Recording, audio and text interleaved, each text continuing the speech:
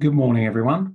Uh, I'm Simon Bliss. I'm Managing Director of Principal People, and I'm also the founder and trustee for the Movement for Safety for Good, which celebrates the great work that health and safety professionals do for all of their communities they serve.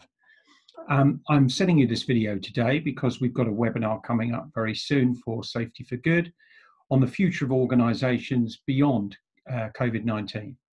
It's a positive perspective from safety professionals. And I have a fantastic team of panelists uh, Louise Ward, Health and Safety Director at Siemens, Nick Wright, uh, Group Health and Safety and Wellbeing Manager at Vodafone, and last but definitely not least, Andrew Sharman, President of IOSH.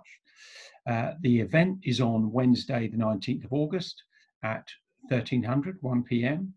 And click below to register, and we'd love to see you there. We're focusing on the use of space, um, technology uh, in safety and in modern business, and the human effect that that might have upon uh, everyone and the communities and businesses we serve. So much more detail on the website. Click through and register. Look forward to seeing you on August the 19th, one o'clock. Thank you very much. Bye bye.